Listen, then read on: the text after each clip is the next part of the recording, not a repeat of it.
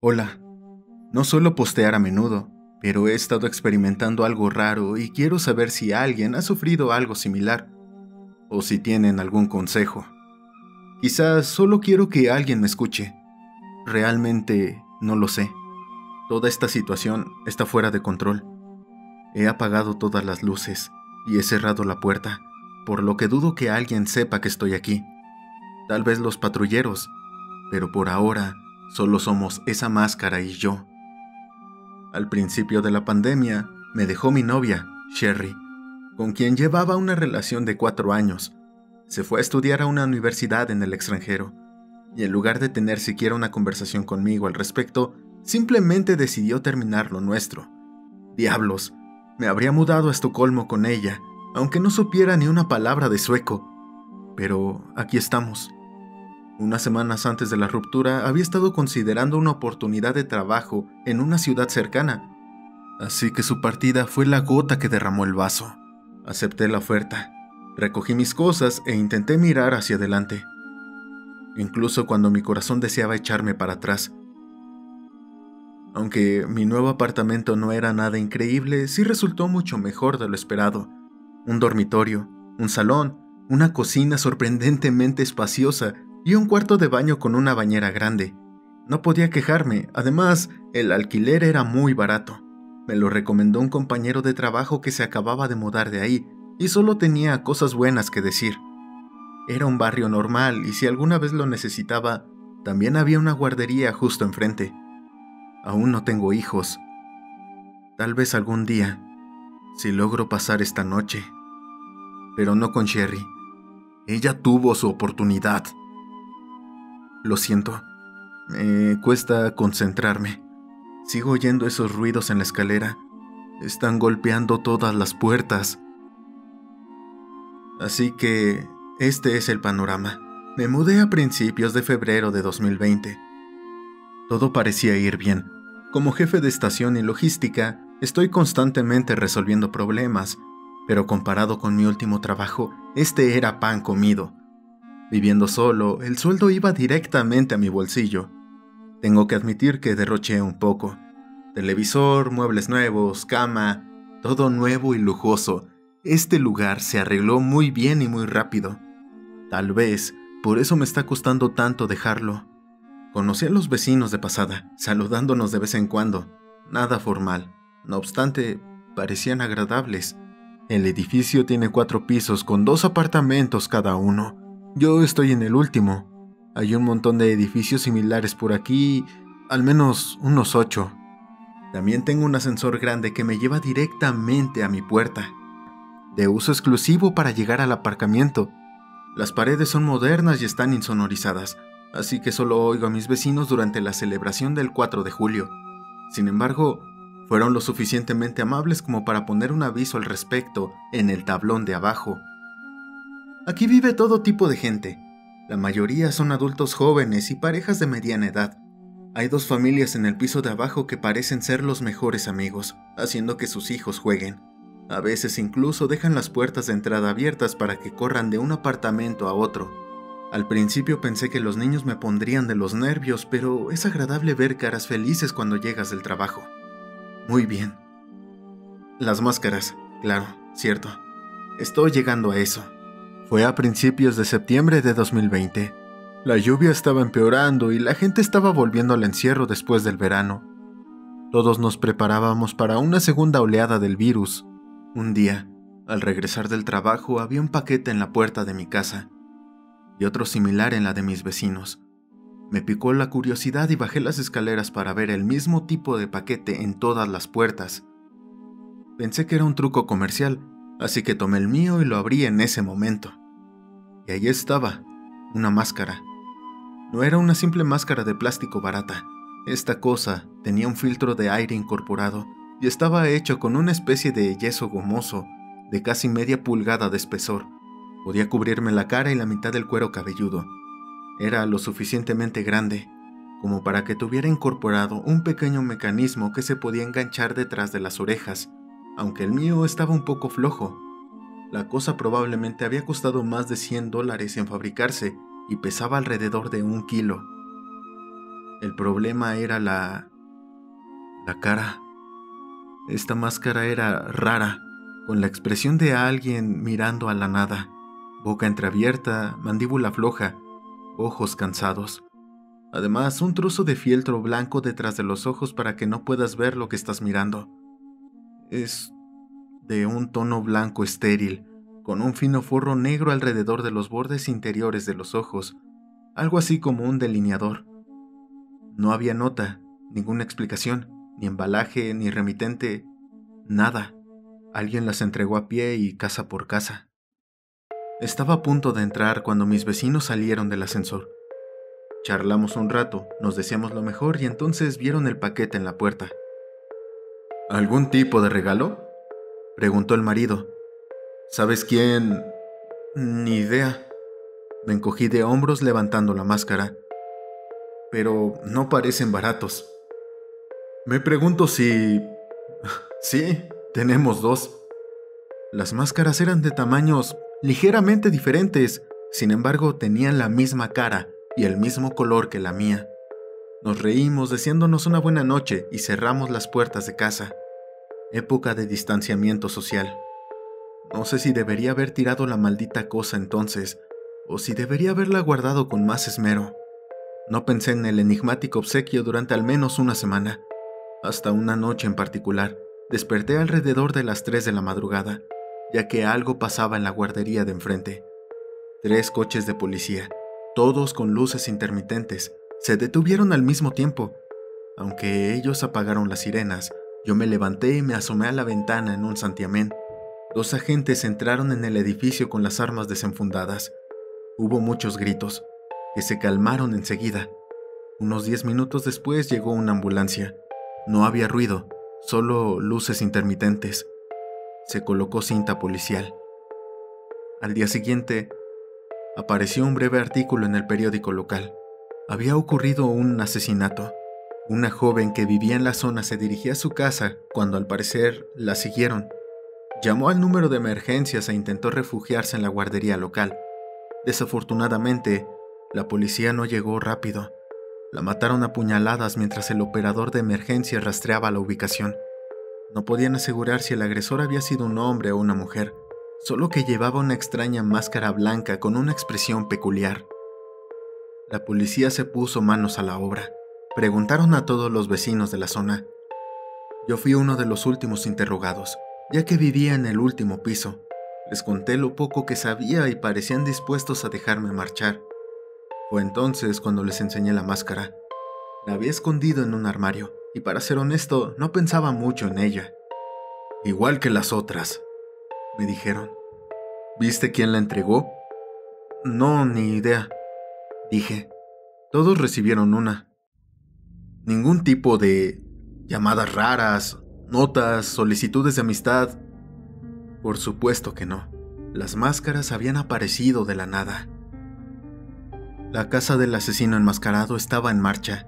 Si bien no era exactamente una noticia a nivel nacional, tuvimos nuestra parte justa de reporteros investigando.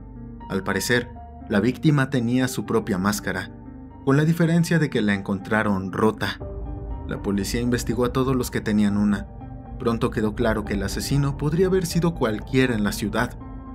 No había forma de saber de dónde procedían las máscaras ni dónde se habían fabricado.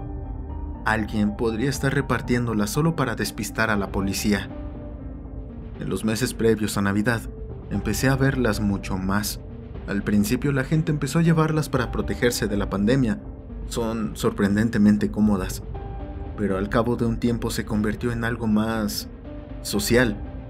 Podías ver a un vecino al otro lado de la calle y saludarle, todo con un poco de anonimato. Cuando llevabas esa máscara, no eras más que un don nadie del barrio. Uno más del grupo, anónimo, pero con pertenencia. Diablos, una vez me la puse cuando fui a hacer las compras en vez de mi cubrebocas normal. Tengo que decir que, salvo por la correa defectuosa, realmente era agradable utilizarla. Incluso la gente parecía más amigable. Bueno, algunas personas, las que llevaban máscaras. Pronto empecé a ver máscaras por la noche. Así les llamaban a las personas que decidían utilizarla por largos periodos.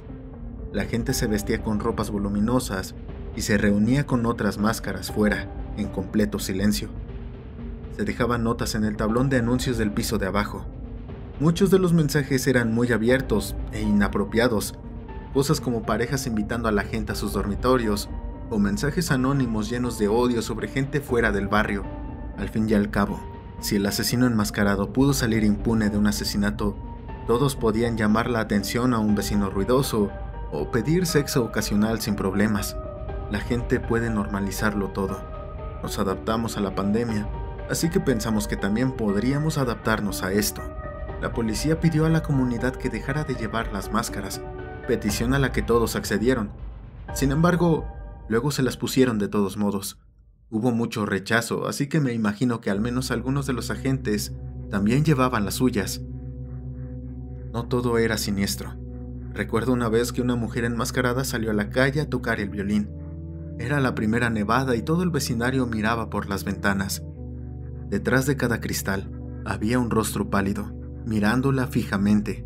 Llevaba puesta mi propia máscara, ya me parecía raro no usarla. No podíamos llamar a la policía ni entregar a nadie solo por la máscara. Entregaríamos a un asesino o a una violinista. Sherry lo habría odiado. Siempre odió los maniquíes, las muñecas, las máscaras, todas esas cosas. Había algo en las caras congeladas que la asustaban. Desafortunadamente las cosas fueron cuesta abajo y rápido. En el transcurso de unas pocas semanas después de Navidad, hubo dos atracos, un asalto y un intento de asesinato. Todos con máscaras. Es curioso cómo dejé de notar las luces intermitentes y las sirenas. Supongo que realmente podemos adaptarnos a todo. A principios de enero de 2021, las máscaras dieron un paso adelante. Los mensajes eran cada vez más crípticos. Había reuniones a medianoche. A veces escuchaban disparos o gritos. En un edificio incluso hubo un pequeño incendio en la cocina. Luego empezaron a ir de puerta en puerta por todo mi edificio. Normalmente eran cuatro. Dos parejas de unos 50 años no decían nada, solo llamaban a tu puerta y esperaban. Se aseguraban de que todos siguieran usando sus máscaras. Si no abrías la puerta con la tuya puesta, tengo la sensación de que algo malo ocurría. Estoy bastante seguro de que tenían armas ocultas. Eran bastante abiertos al respecto. Sí, abrí la puerta cada vez que llamaron. Sí, me puse la máscara. No, la cosa de la correa detrás de la oreja todavía no me sentaba bien. Las reuniones nocturnas se hicieron más frecuentes. A veces iban todos a alguna parte y a veces simplemente se dispersaban. Una vez llegó la policía y todos volvieron corriendo a sus edificios. La policía fue de puerta en puerta para preguntar si aún llevábamos las máscaras. Por supuesto, mentí y les dije que no. No detuvieron a nadie. En toda la ciudad, la antes poca delincuencia iba en aumento. Allanamientos, vandalismo, robo de coches, y la cosa se ponía un poco más seria cada día. Algunas máscaras se paseaban con pistolas y cuchillos. Una vez registraron a tres y encontraron cócteles Molotov. También hubo otro intento de asesinato. Una joven recibió tres disparos a quemarropa. Acabó en coma. También hubo cantos, sobre todo por la noche, pero a veces los oía cuando paseaba por la ciudad. Una cajera silbando una melodía el tono de un teléfono entre la multitud. La gente de la ciudad ha empezado a adoptar la idea de vivir una doble vida. A veces ni siquiera intentan ocultarlo. Una vez vi una máscara con su uniforme policial poniendo multas de aparcamiento a plena luz del día. Esto pasó hace tres noches. Me había estado preparando para dejar la ciudad. Había hablado con mi hermano para dormir en su sofá y estaba recogiendo lo esencial. Entonces Alguien llamó a mi puerta. Los patrulleros, supuse, y me puse la máscara. Pero no eran ellos. Al otro lado de mi puerta, en el pasillo sin luz, había un hombre delgado que sobresalía por encima de mí, alto, alargado. Llevaba una sudadera con capucha, unos viejos vaqueros azules pálidos y no recuerdo sus pies. Ni siquiera sé si tenía. Llevaba una de las máscaras, no obstante, lo que me sorprendió fue lo alto que era. Tendría que agacharse para pasar por la puerta. Se puso tenso para moverse y yo retrocedí. Quizá estaba a punto de marcharse. No lo sé. Estaba demasiado sorprendido. Se me cayó la maldita máscara. La correa detrás de mi oreja izquierda finalmente se rompió. Se me cayó la máscara y el hombre alto me miró la cara desnuda. Entonces, hizo algo que no había visto antes. Su máscara se movió. Pasó de una cara sin sentido y con la boca abierta a, una alegre, una gran sonrisa sonriente, las mejillas infladas, labios blancos revelando una boca interior blanca, lengua blanca, dientes blancos, garganta blanca. No era una simple máscara. Corrí al baño buscando a tientas mi teléfono. Estaba a punto de cerrar la puerta de un portazo cuando noté que un largo brazo la mantenía abierta. Había entrado a mi casa, completamente en silencio. Esa gran sonrisa se acercó mientras buscaba mi cara. Contuve la respiración, esperando una oportunidad para huir. Pero aquello era tan silencioso, tan rápido, como ver a un insecto moviéndose. No sentí su aliento. Entonces, me dio una máscara nueva. Me la tendió con dedos largos que eran como palillos de cuero. Era igual que la anterior, solo que nueva. Las correas estaban reforzadas. Recibí la máscara, escupí un gracias reflexivo y vi al hombre alto salir de la habitación, todavía con aquella gran sonrisa. Parecía la caricatura de una persona alejándose de un animal asustado. Me sentí como un ciervo iluminado por los faros de un auto. Todo estaba tan silencioso. Esa noche, dormí en la bañera con la puerta cerrada. Mantuve la máscara cerca toda la noche y soñé con caras que salían de los azulejos del baño. Caras blancas, sonriendo. Ahora no estoy seguro de si las cosas puedan empeorar. Por eso no estoy seguro de si debo seguir huyendo o no. Los patrulleros vendrán esta noche. Lo sé. No estoy seguro de si es buena idea que abra la puerta. No quiero volver a ponerme la máscara. Algo en ella parece irreversible. Tal vez mi antigua máscara era defectuosa.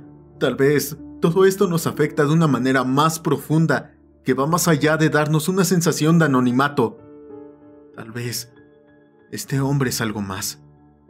Lo llaman el hombre guapo en la pizarra de abajo. Casi todas las notas hablan de él, le dan las gracias, lo bendicen. Hombre guapo, hombre guapo, hombre guapo. Diablos, escuché a la gente cantándole en la escalera. Aunque tengo las maletas hechas, me estoy acobardando. No sé qué pasará si me quedo más tiempo. Por otra parte, con una máscara como esta, podría hacer cosas increíbles, ¿verdad? Mirando a través de los ojos de esa máscara, veo libertad. Libertad inquebrantable, sin restricciones. No la odio. ¿La odiarían ustedes? Solo digo que quizás haya una buena razón por la que la gente adora esa cosa. Cherry vuelve a casa durante el verano. Es el pueblo de al lado. esa zorra tendrá su merecido. Muchas gracias por ver el video, espero que te haya gustado. Si es así, por favor, compártelo con tus amigos, dale like y deja tu comentario. No olvides suscribirte y activar las notificaciones dándole clic a la campanita. Muchas gracias. También me gustaría agradecerle a los miembros del canal por su valioso apoyo. Yo soy Ciudadano Z, nos vemos en la siguiente. Y recuerda que aquí tus miedos cobran vida.